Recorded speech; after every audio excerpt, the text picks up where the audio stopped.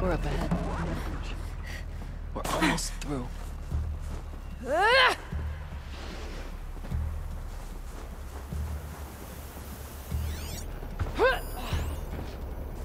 Technically, I can't suspend the cooling system, but I can reduce the power draw so that it'll be completely masked by the caldera. But masked from what? Firebreak has always been confidential for security reasons, but this would be excessive. Even for the dear departed Mr. Blevins. What could possibly have gotten Anita so worked up?